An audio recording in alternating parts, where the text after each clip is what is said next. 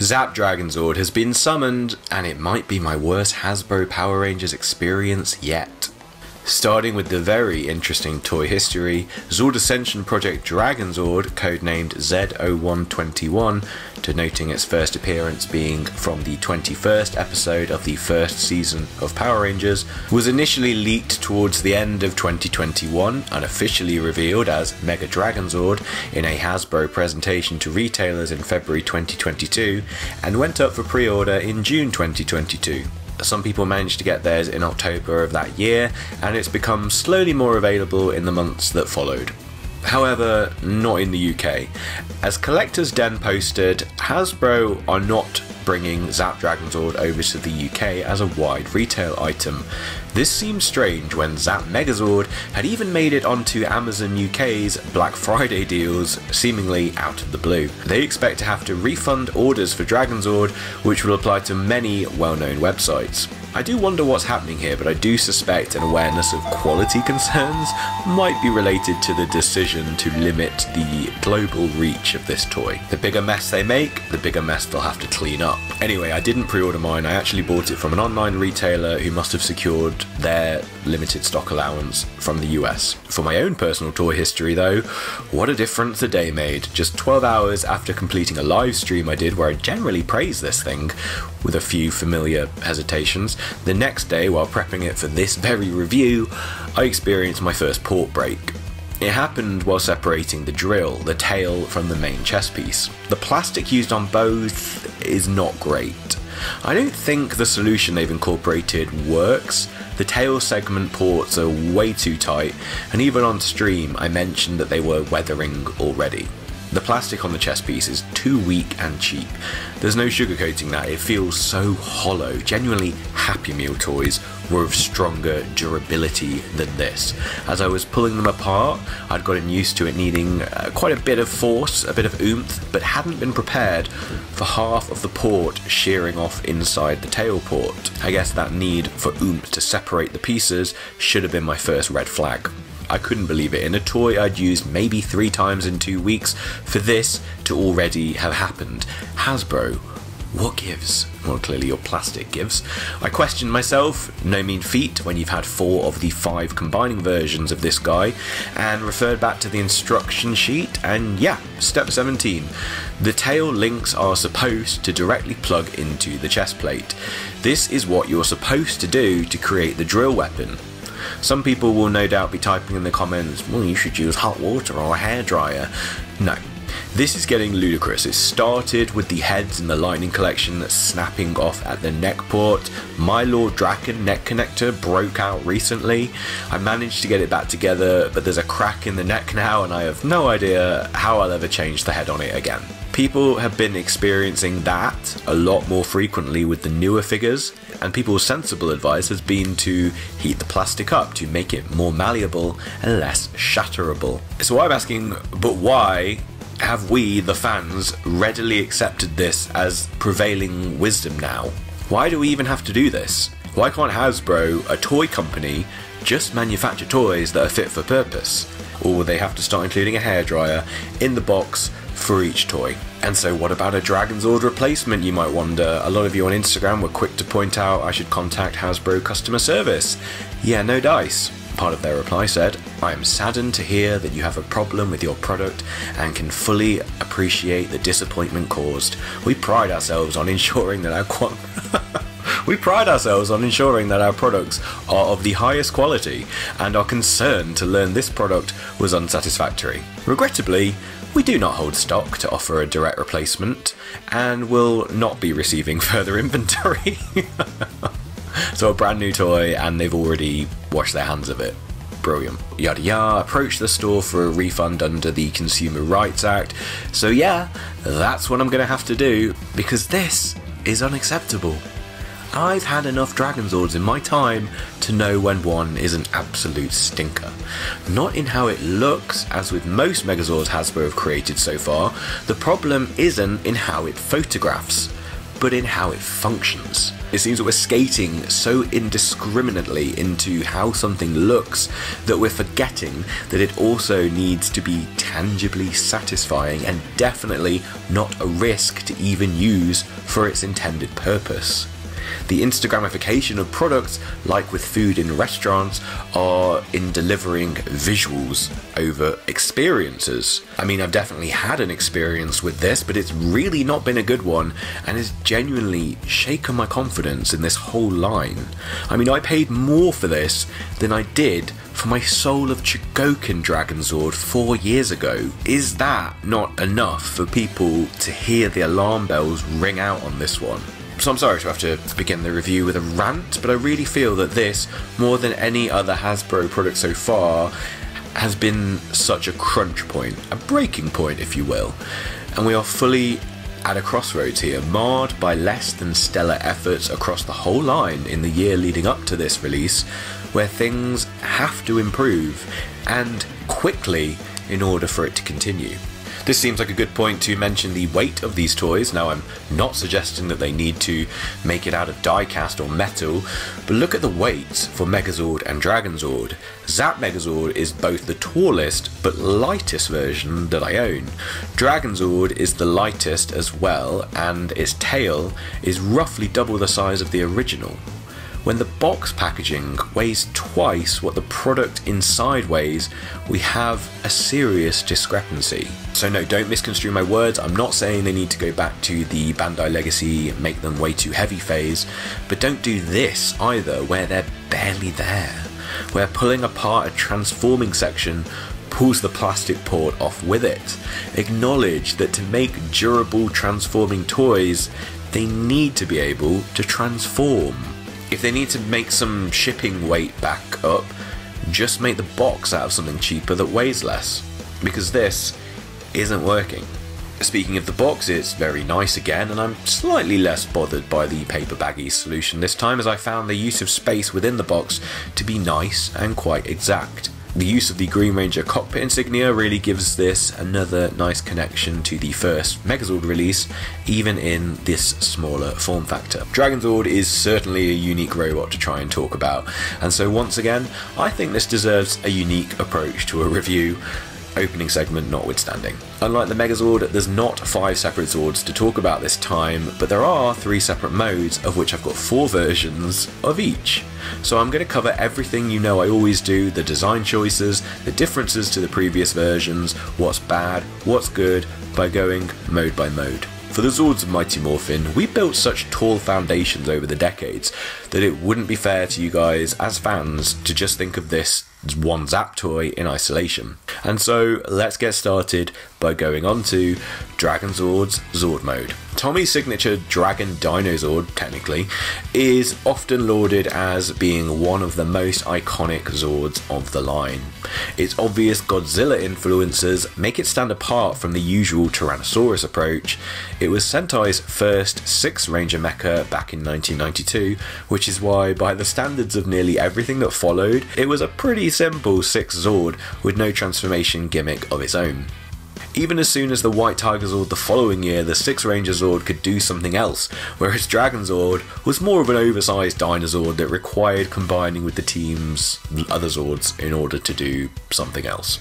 The dark colour scheme is certainly one of this thing's main draws, with unique patterning throughout the robot, several impressions of the Dragonzord power coin symbol, and the franchise's first of two Zords that carry the Z emblems, originally standing for Zyuranger I like to think of it as standing for Zord and has now been retroactively incorporated as the logo for the Zord Ascension project. There's a bit of a return to the past of the chromed out plastic of the original. That's something that was mattified in gold painted metal for the 2014 Legacy version, and then made into shiny gold plating for the Soul of Chogokin version in 2018. Here we are another four years later, and that chromed plastic has become even more prominent throughout the entire robot. What's new this time then? Well, Zap has incorporated a good amount of articulation in the legs and thighs. While they don't oscillate outwards like the Soul of Chogokins could, they still offer a significant upgrade over the original and even legacy versions of the toy. It all helps you add a bit more posability to this thing, and while the hands have never been particularly expressive because of the limitations of them anyway, Hasbro found a solution there too. While Legacy would be the first to introduce some interchangeable hands for Dragonzord, something Soul of would continue with, Zord Ascension Project goes even further by adding a third set of hands, this time with the missiles loaded into the fingertips. You can even give the impression of them firing by swapping back to the first set of hands and using plug-in special effect pieces, a Lightning Collection hallmark, to show them this way. The only thing still missing is a smokestack for this thing to chew on. Zap features more paneling detail, we got a lot of this on Megazord and the Dino Fury Zords, and here it is for Dragonzord, notably on the sides of the neck, the hips, and the feet. The tail is another critical part of the Dragonzord and has seen a great development period over the past decade. The original was nothing special, even less articulated than the T-Rexes but Legacy added popping joints between the tail segments, though still forgot to make the tail posable at the base. The Soul of Chogokin de-accentuated the tail slightly while building on the innovations of the Legacy version. This one might be the best of all. Zap clearly liked what SOC did, but with a bit more size, like the Legacy version. Obviously the broken clip within my one means I'm operating with one link less than it should have, not the end of the world, but quite annoying nonetheless. At least I found a workaround for this. The cockpit. So for this one, it's in the style of the Ranger's individual Zords rather than the 3D printed one that showed all five in the Megazord's head. So kind of cool if you're wanting Tommy to look more a part of the team, you can do that with one of the two provided miniature figures.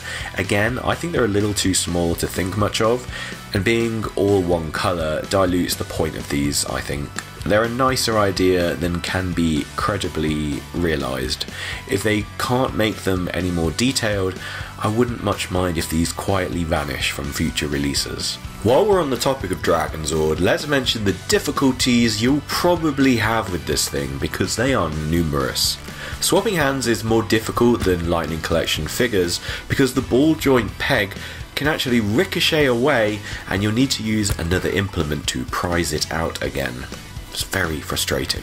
You'll once again benefit from heating up the hand ports in order to get them on. The gold shoulders clip onto the sides extremely tightly, but all that means is that they creak angrily when either attached or removed. The eyes are on the same hinge as the lower jaw, so whenever you close or open its mouth, you're inadvertently moving the top set of teeth and eyes out too.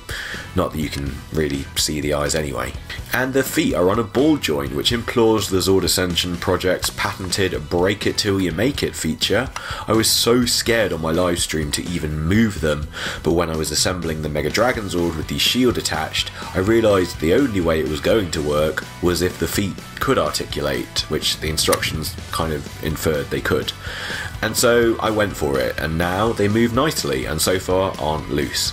I just wish the zap line didn't make you feel like you were going to break joints in order to gain access to them. This was also a thing on the Triceratops wheels I didn't know about, and while we're covering things that I didn't know about for my Megazord review, there is some articulation in the Mastodon trunk, just not what I was expecting. Part of it spins around.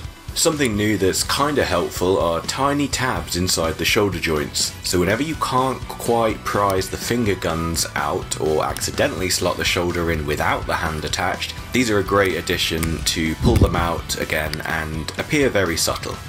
Anyone else notice that they've rounded off the back of the Zord where the tail is? This is for the first time. And so on to Dragonzord Battle Mode. For me, the coolest thing the Dragonzord did was this Warrior Mode or Battle Armor Mode. It steals the Megazord's appendages for its own benefit, resolving the Zord's own shortcomings, takes its greatest strength in its obscene armor plating, and repurposes the tail and chest piece into a staff weapon, which also functioned as a drill. You gotta love the sheer absurdity of that. They even had a camera angle from inside the hole it would burrow into the monster of the week as it destroyed it. On the show, this was pushed as being a power up over regular Megazord, and it's still one of my favourite duos to put together. It also feels much more like a current modern day combination where there's actually a lot of Zords left over, excluded from the combination.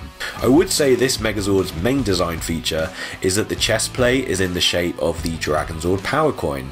This wasn't something I consciously realised when I was a kid for a long time, because the original really didn't even try to look like it that much. The Legacy version did try a bit harder, but proportionally it looks kind of overlarge to the rest of the robot. Soul of Chogokin, unsurprisingly, delivered the best, most finely detailed version so far, it looks beautiful. Smooth plated gold with the stenciled pattern artwork and clearly defined end zones where the black bits divide the symbol up. This was, and I think still is, the one to beat. And so for Zord Ascension Project, clearly this was the one to model itself on. The end results aren't too bad. They tried to go a bit further again, adding more detail both in the form of panelling along the gold, raising the patterning symbols, and incorporating their famous speckled effect as the backdrop to those lines. But Hasbro's factories prove, as usual, that they only put paint to plastic with about 95-96% accuracy. As you can see, should be green speckles on the gold section, and you can see some green overspill on mine on the gold section. And the cursive gold patterning could be tidier in the tail ends, though perhaps this is as neat as their current mass production factory equipment can get them. The Dragonzord coin is definitely a difficult one to get right, but this isn't a bad effort by any means. I can give it that much. The face on Mega Dragonzord has gone through the ringer a few times. The original 90s toy suffered from a really long, flat face. The Legacy incarnation did fairly well, changing the shape of the mask outline.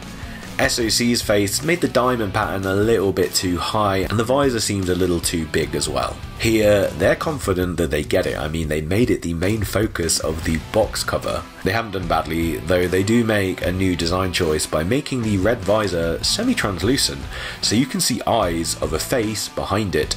Actually, when it's first introduced in the show, you do see a flash of glowing red eyes behind the mask so there is some precedent for it, and honestly it's subtle enough to be seen either way, so I don't mind it.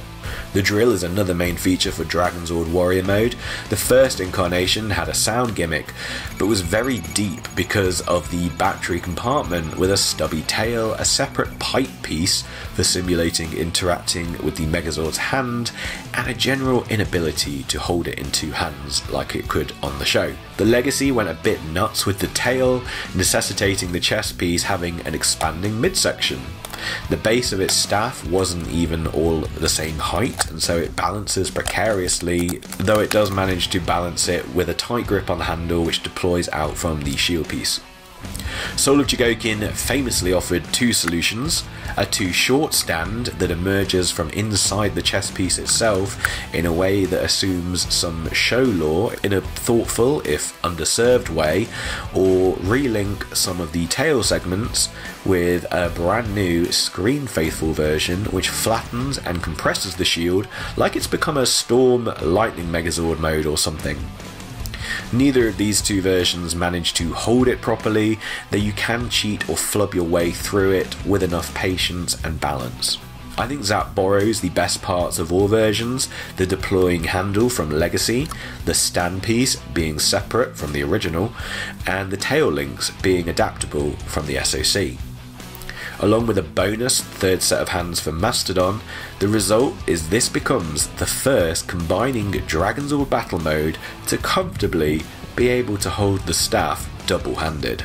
Yeah, you do need to once again apply some heat, of course, to the new third left hand of the Mastodon to make it fit the chunky staff in its grip, but once it's in there, it's got a good grip for posing. Nothing comes close to this authentic look, and this is one of those editions where Zap gives the impression that they know what they're doing, even if the tight hand is kind of frustrating to work with. Lastly, the Mega Dragon Zord. Love it when they incorporate two names into a combination name like Ninja Mega Falcon Zord. Mega Dragon Zord is unsurprisingly the full combination of Megazord and Dragon Zord and gives you a 6 Dinozord combo. Yeah, if battle mode rubbed you the wrong way with leaving out the T-Rex and Pterodactyl, there's a way to bring them back into the mix. Here we have the Dragonzord splitting down the middle with the head serving as the connector, something that you could actually unclip really easily with the spring-loaded connector used on the 90s version. For Legacy, this was an unwieldy, heavy bit of kit that would scratch the Megazord's face paintwork, would often lose its grip on the feet positioning, and cause the Megazord to buckle on its badly designed knees. Soul of Chogokin neatened up the whole assembly and managed to forego needing any pull down support tabs for connection. For Zap, this one is interesting because the lightness actually works in the combination's favour. The tail and chest piece technically don't play a function in this formation because they're needed for the Ultra Zord, the tail admittedly less so, but you can attach both if you want to use all the parts. When holding the sword and shield, it means that just the staff base and leftover hands and effect pieces aren't needed. A very good result. The big controversy for this one was the addition of the fingertip plates. This, I believe, was Hasbro trying to right the wrongs of the SOC, something that I'd picked up on even at the time that their version of doing the Dragonzord hands rendered them into the far corners of the shoulder plates. Previous versions made more of the in show impression where the finger blasters are much more evenly distributed throughout that crevice. Zap's version is still better than SOC. The thumb is not positioned at such an extreme right angle, so that's actually going to be totally fine for most, and you could even still attach either the missile fingers, which wouldn't be accurate, or special effect pieces if you wanted to. But Hasbro's new plate effect method really put the prominence back on those fingertips, even though this raised black clip on piece is another deviation from a true transformation. Much like the stabilizers and opening hands of Megazord, it's there if you want it, it's ignorable if you don't. Best of both worlds. You know what, if we're going to put some kudos on Zap for something, it's actually still going to Zap Megazord, designing the Mastodon in such a way that you can even gently raise his arms at the elbow just slightly, and with the shoulder pads dangerously popping out, but a cool trick that we haven't been able to do in any of the versions so far. And even though the M has dropped sideways, I still quite like the idea that this represents Megazord, albeit accidentally. The Megazord holds the Dragonzord really quite well, and proportionally, I find myself enjoying this combination much more in Zap than most of the previous versions, even if SOC delivered a much more vivid double effect head whereas the Megazord head gets quite lost in this version. To conclude then, Dragonzord is the sixth of the seven Dinozords, and at time of posting, it doesn't seem like Zap will be taking us to the finish line of the Dinozords anytime soon. But you never know, and the Season 1 Ultrazord has proven to be too tantalising for any combining version of this trio to skip out on so far. While I think there's something to like in each mode here, that still doesn't mean this is a full recommendation from me. Low quality plastic and brittle connectors should be your biggest takeaway from this guy. I'm left with the view that Hasbro don't fully get Power Rangers combining toys yet. They are improving all the time, and Dino Fury's second season Zords were probably our best examples to date. But while Hasbro are pushing Megazords into a more dexterous, flexible, posable direction, they're doing so at the detriment of something that we all, admittedly, took for granted, which was how buttery, to quote Bridge from SPD, the connections were. There was a nice, fluid muscle memory to the transformations of old. Each transformation movement had a beautiful revolution to them. There were ratchets, there were clicks. Here, you get these often quite violent and angry snaps and pop sounds.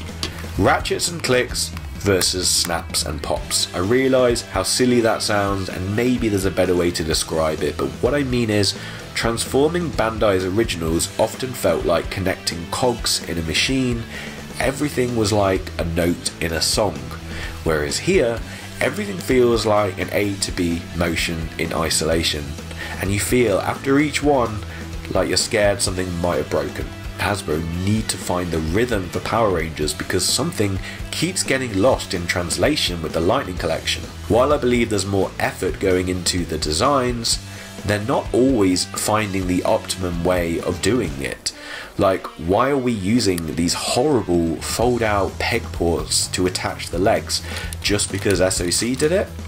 The original used a much more natural and show accurate way, and if we are comparing to SOC, they managed to hide the pegs much better. Beyond this, I also need to critique the manufacturing part of the company that casts the design in materials and maybe control budgets for how much it's allowed to cost in the first place because they're wrecking the experience. Because whoever is designing is not accounting for the cheap plastic that then gets chosen for the final product. So designs that probably were prototyped using more, shall we say, optimum materials are reaching us, the consumer, as half-hearted, budget-ceiling compromises that feel and behave more like bootlegs. This can't continue because otherwise the line won't. Turns out the real green candle is money. So that's it. I hope this was useful for you guys. I'm emotionally exhausted by this thing. On the one hand, it looks good and there's something to like in each of the modes. On the other, I was so disappointed by the cheapness of how it's been realised, to the point where I've had to compromise in this review in order to even show it. Astro Megazord has got to be better, right? I'm a little wary that it's even larger. Let's see what happens. Until then, let me know if you're getting or have already got Zap Dragonzord. Let me know if they do another production run of it, maybe with more dependable quality. We can dream, surely. Until the next time, you guys, see you later.